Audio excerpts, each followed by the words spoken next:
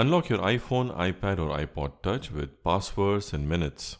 Have you ever forgotten your iPhone screen unlock passcode? Yes, it's possible to forget it. And trust me, since iPhones are quite secure, sometimes your negligence can cause you a lot of inconvenience and frustration. But don't worry, there is a way to unlock your iPhone if you forgot your screen passcode. Or if Touch ID or even Face ID is not working. So let's start the video, but before I start,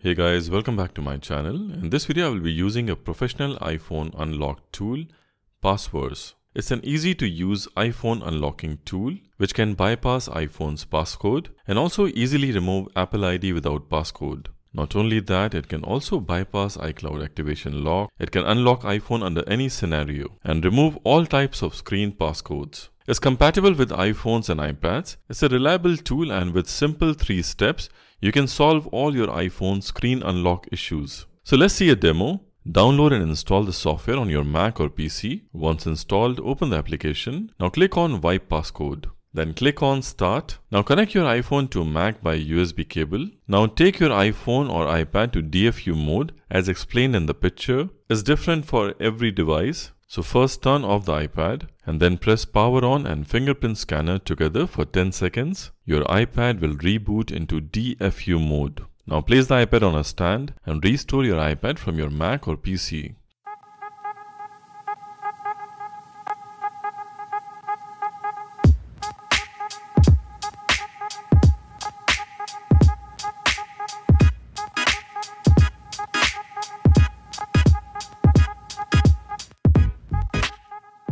And here we are. The iPad has been restored to new factory settings. It's a fresh iPad as the old passcode has been removed. Now you can simply log into your Apple ID and if you have backed up your data, you can choose the backup and use your iPad as a fresh one. You can see here it's restoring my data from the backup. This method is great and easy to use, but it's not free. It's $29 for one month license for Mac or Windows. You can also choose other options for annual or lifetime license. Well, that's it for this video guys. I hope you liked this video. If you like the video, kindly hit the thumbs up and subscribe if you haven't. See you all soon in my next one. Till then, goodbye, peace and blessings.